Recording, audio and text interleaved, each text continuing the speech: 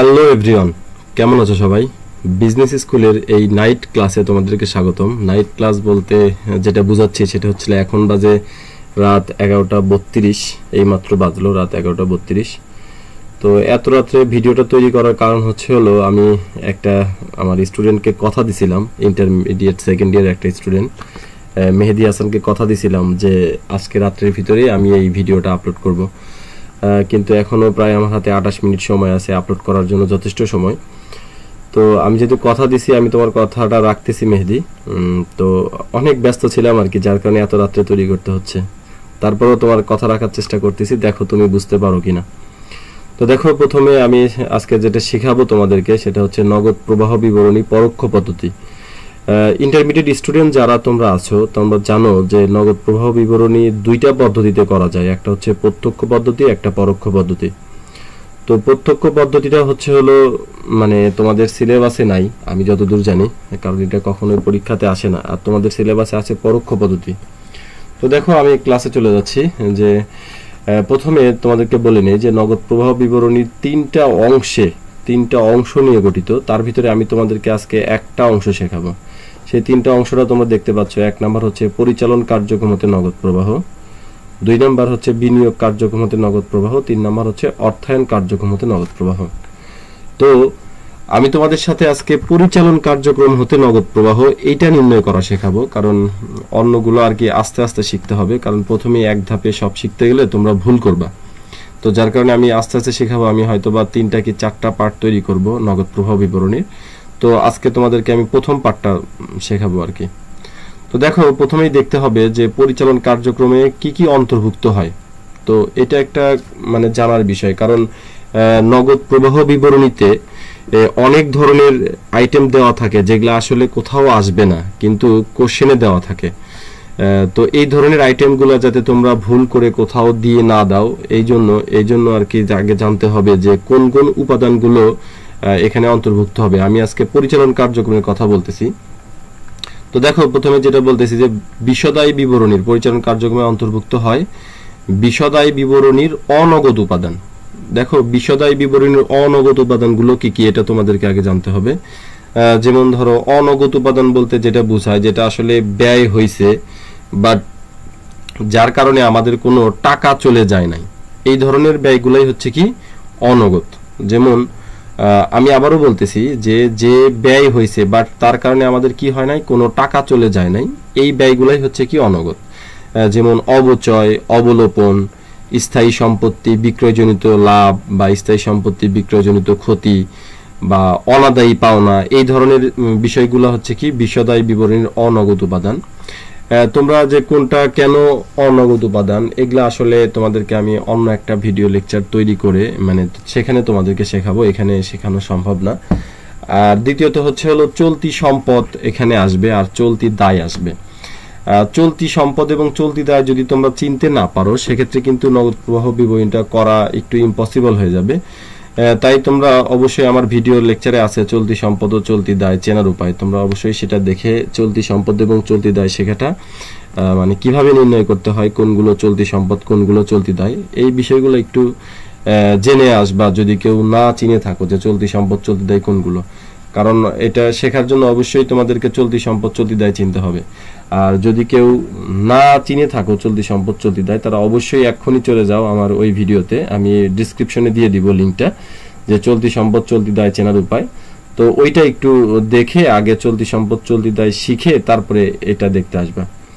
তো দেখো, তো এই ছিল হচ্ছে আলোচনা করার মতো বিষয়, যে বিষয়দায় বিবরণের অনগদ উপাদানটা আমি আরও একবার বলতেছি। কারণ এটা জানাটা খুব দরকার যে অনগদ উপাদান কোনগুলো? অনেক সময় দেখা যায় যে সুদ, বেতন, টেতন এগুলা দিয়ে দেওয়া থাকে, কিন্তু এগুলা কিন্তু কি নগদ উপাদান? কারণ এর কারণ এদের কারণে, এই ব্যয়গুলোর কারণে আমাদের টাকা চলে যায়, এগুলা কিন্তু আসবে না।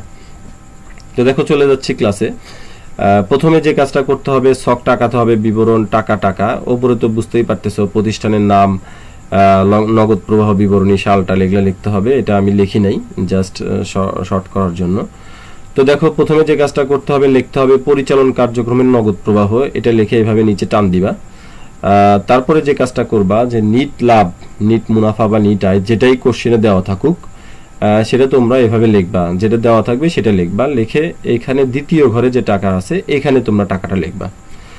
লেখার পর নিট লাভের ঠিক নিচেই লিখবা। নিট লাভ নিট মুনাফা নিট আয়, যা লেখা থাকুক, সাথে লিখবা। এর সাথে প্রয়োজনীয় সমন্বয় সমূহ এই কথা লিখে একটা টান দিয়ে দিবা। আমি যেভাবে টান দিছি, এভাবে টান দিবা। তো এই টানটা দেওয়ার সাথে সাথে তোমরা আর কি অঙ্কটা করা শুরু হয়ে যাবে আর কি। তো যেভাবে করবা, সেটা হচ্ছে হলো সকল প্রকার অবচয় অবলম্বন যোগ করতে হবে। অর্থাৎ তুমি জাস্ট নগদ প্রবাহ বিবরণীতে সেটা যে কিছুরই অবচয় বা অবলোপন হোক মানে সেটা যারই অবচয় অবলম্বন হোক, অর্থাৎ স্থায়ী সম্পত্তিতে সাধারণত অবচয় হয় বা অবলোপন হয়, তো যেটারই অবচয় অবলম্বন হোক, সেটা তোমরা কি করবা? চোখ বন্ধ করবা। আর কি করবা? প্রথম করে লিখবা আর কি। অর্থাৎ যোগ করতে হবে এটা।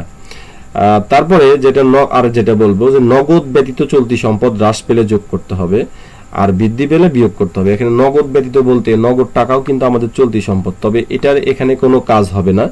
যে নগদ ব্যতীত অন্য যেসব অন্য যেসব চলতি সম্পদ হ্রাস আছে মানে চলতি সম্পদ আছে, সেগুলো যদি হ্রাস পায় তাহলে যোগ করতে হবে। আর যদি বৃদ্ধি পায় তাহলে বিয়োগ করতে হবে। তোমরা হয়তো বা এতক্ষণে ভাবতেছো কার সাথে যোগ করব, কার সাথে বিয়োগ করব। সেটা হচ্ছে হলো যেটা যোগ করতে হবে তো এটা তোমরা নর্মালি এভাবে লিখবা, আর যেটা বিয়োগ করতে হবে এটা তোমরা ব্রাকেট দিয়ে লিখবা। হিসাব বিজ্ঞান এবং মানে হিসাব বিজ্ঞানে ব্রাকেট মানে কিন্তু বিয়োগ বোঝানো হয়। তারপরে যেটা বলতেছি যে চলতি দায় ঠিক তার উল্টা। এখানে দেখো, চলতি সম্পদ হ্রাস পেলে যোগ, আর এখানে কি বলছে? চলতি দায় হ্রাস পেলে বিয়োগ। চলতি দায় দেখো, এখানে চলতি সম্পদ, হ্রাস পেলে কি করতে হবে? যোগ করতে হবে। আর চলতি দায় হ্রাস পেলে বিয়োগ করতে হবে। চলতি সম্পদ দেখো, বৃদ্ধি পেলে বিয়োগ করতে হবে। আর চলতি দায়, বৃদ্ধি পেলে যোগ করতে হবে। অর্থাৎ চলতি সম্পদ এবং চলতি দায় এটা কিন্তু চলতি সম্পদ যেটা যোগ হবে সেটা কি চলতি দায় সেটা কি হবে? বিয়োগ হবে। আর চলতি সম্পদ যেটা বিয়োগ হবে, চলতি দায় সেটা যোগ হবে। অর্থাৎ একটা আরেকটার ঠিক উল্টা দিকে যাবে আর কি।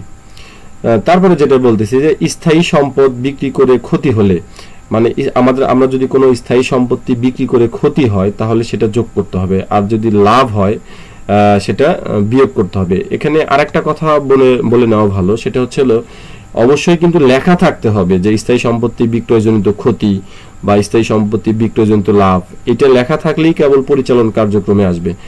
তবে যদি ধরো স্থায়ী সম্পত্তি বিক্রয় বা আসবাবপত্র বিক্রয় দালান কোঠা বিক্রয়, এই ধরনের কোনো কথা যদি লেখা থাকে যে শুধু বিক্রয়, লাভ ক্ষতির কথা বলা নাই সেক্ষেত্রে কিন্তু এটা পরিচালন কার্যক্রমে আসবে না, সেটা আসবে হচ্ছে কোথায়? বিনিয়োগ কার্যক্রমে। সেটা আমরা বিনিয়োগ কার্যক্রম যখন শেখাবো তোমাদেরকে, তখন এটা তোমাদেরকে বুঝাই দিব কীভাবে করতে হবে। তারপর লাস্ট যেটা দেখতে পাচ্ছ, এটা সাধারণত খুব রেয়ার কোশ্চেনে খুব একটা আসে না। যে অনাদেই পাওনা সঞ্চিতি যদি বৃদ্ধি পায়, তাহলে যোগ করতে হবে। আর যদি হ্রাস পায়, তাহলে বিয়োগ করতে হবে। তো দেখো, শেষ কাজটা যেভাবে করবা, এভাবে ধরো যোগ, বিয়োগ, অর্থাৎ যেটা যোগ, এটা তোমরা নর্মালি লিখবা, আর যেটা বিয়োগ, সেটা তোমরা ব্র্যাকেট দিয়ে লিখবা। এভাবে এই ঘরের সকল টাকাগুলো কি করবা? যোগ, বিয়োগ করবা। তো যোগ, বিয়োগ করার পর, অর্থাৎ যেটা যোগ, সেটা যোগ করবা, যেটা বিয়োগ, সেটা বিয়োগ করবা। বিয়োগ করার পর বিয়োগ ফলটা বা যোগ ফলটা মানে যেটা আসবে, সেটা তোমরা এখানে লিখবা। এখন এই যে তুমি দেখতে পাচ্ছ যে নিট লাভ এই নিট লাভের সাথে যদি নিট লাভের সাথে যদি মানে এটাতে যদি যোগ অ্যান্সার আসে, অর্থাৎ এটার যোগ বিয়োগ ফল যদি প্লাস ফিগার আসে, তাহলে এটার সাথে এটা যোগ করে এটা বেরোবে। আর যদি এটা মাইনাস ফিগার আসে, অর্থাৎ যোগের চেয়ে যদি বিয়োগ বেশি আসে তাহলে তো অবশ্যই জানো যে মাইনাস ফিগার আসবে। তাহলে এখান থেকে এটা বাদ দিয়ে এটা আসতে হবে। আর এটার নামই হচ্ছে হবে পরিচালন কার্যক্রম হতে নিট নগদ, প্রবাহ প্রাপ্তি, ব্যবহার প্রদান। এখানে একটা কথা যে কখন প্রবাহ বা প্রাপ্তি আর কখন ব্যবহার বা প্রদান, এটা একটু বুঝতে হবে। এটার বোঝার নিয়মটা হচ্ছে যদি এই আনসারটা অর্থাৎ এই যে লাল দাগ যেটা তোমরা দেখতে পাচ্ছ, যে এটা যদি প্লাস ফিগার আসে, অর্থাৎ এটা যদি প্লাস ফিগার আসে তাহলে লিখতে হবে পরিচালন কার্যক্রমের নগদ প্রবাহ বা প্রাপ্তি। মানে হয় তোমরা প্রবাহ লিখবা, না হয় প্রাপ্তি লিখবা। আর এখানে যদি মাইনাস ফিগার আসে, তাহলে কিন্তু প্রবাহ প্রাপ্তি লেখা যাবে না। এখানে লিখতে হবে পরিচালন কার্যক্রমে নিট, নগদ, ব্যবহার বা প্রদান। অর্থাৎ হয় ব্যবহার লিখবা না হয় প্রদান লিখবা দুইটা কিন্তু একসাথে আবার লিখুন। আমি আবারও বলতেছি, যদি প্লাস ফিগার আসে, তাহলে প্রবাহ বা প্রাপ্তি, আর যদি মাইনাস ফিগার আসে, তাহলে ব্যবহার বা প্রদান। তো এই ছিল আমার পরিচালন কার্যক্রম হতে নগদ প্রবাহ নির্ণয় করার যে শর্টকাট টিপস আর আমি যে কথাগুলো বললাম, সেগুলো অবশ্যই মনোযোগ দিয়ে শুনবা। তুমি জানো যে আমি সাধারণত প্রত্যেকটা ভিডিও টিউটোরিয়ালে একটা করে কুইজ দিয়ে থাকি। এটাতে অবশ্য সবার শেষে দিছি। গত পর্বেগুলোতে দিছিলাম প্রথমে, আর এটাতে দিছিলাম শেষে। তো আজকের কুইজটা হচ্ছে হলো আজকের কুইজ যে কালীন ব্যয় কি? অর্থাৎ কালীন ব্যয় কি? অলরেডি কিন্তু আমার আগের যে ইয়েটা ছিল যে নিমজ্জিত ব্যয় কি? তো অলরেডি আমার একটা ছাত্র আবার যে যে আর কি এবার ইন্টার পাস করছে এখন ঢাকায় কোচিং করতেছে, আদনান মনি, সে কিন্তু অ্যান্সার করে ফেলছে। তো তোমরা ঝটপট কালীন ভাইটা কি এটা কমেন্ট করে ফেলো। আর তোমরা তো জানোই যে যে সর্বোচ্চ মানে যতগুলো মানে যে সর্বোচ্চ পরিমাণে সঠিক উত্তর দিতে পারবা, তাকে ফ্লেক্সিলোডের মাধ্যমে পুরস্কৃত করা হবে। আর যদি বগুড়ার মধ্যে হয়ে থাকো, তাহলে অবশ্যই সামনাসামনি মানে পুরস্কৃত করা হবে। আর যদি বগুড়ার বাইরে হয়ে থাকো, তাহলে তাকে ফ্লেক্সিলোডের মাধ্যমে পুরস্কার দেওয়া হবে। তো ঝটপট তোমরা সর্বোচ্চ সঠিক উত্তর দেওয়ার চেষ্টা করো। অর্থাৎ প্রত্যেকটা ভিডিওরই সঠিক উত্তর যে দিতে পারবা বা ইয়ে করবা, তাকেই কি করা হবে? পুরস্কৃত করা হবে। তো আজকের মতো এখানেই বিদায় নিচ্ছি। তার আগে আমার কথা একটু বলে নিই যে মাঝখানে তোমরা যে বিএস লেখা দেখতে পাচ্ছ এখানে ক্লিক করে অবশ্যই যারা সাবস্ক্রাইব করনি আমাকে, তারা সাবস্ক্রাইব করবা।